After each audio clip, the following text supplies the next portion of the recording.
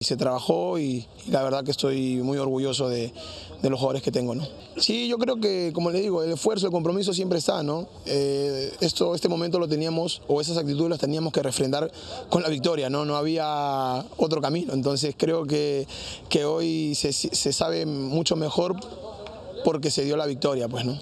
Vimos que por ahí eh, en el tema eh, medular, por ahí se nos estaba complicando un poco porque ellos tenían mucha movilidad por ese sector, entonces decidimos junto al comando técnico poder reforzar esa zona, ¿no? esa zona media que, quizás en muchos partidos por ahí eh, ha causado que, por ahí tengamos algunas fallas. Creo que fue importante el ingreso de Tarek, podía haber sido Tarek o mismo Jesús Barco, entonces, pero bueno, se tomó la decisión por, por Tarek y, gracias a Dios este, pudimos pararnos de la mejor manera. ¿no?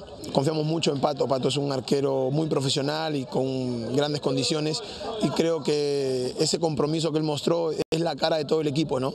A pesar de la lesión pidió eh, tapar el penal y, estuvo convencido de, ello. ¿no? Pues por eso que, bueno, y no solamente fue el penal, sino el rebote, ¿no? Entonces este, creo que, que, bueno, y después eh, ya como es un arquero también con mucha proyección, tenemos grandes arqueros, la verdad, ya como Quispe, Neto, eh, la verdad que, creo que, cualquiera que se pare de, tres, eh, de los tres palos, creo que puede, puede dar lo mejor ¿no? para, para el equipo.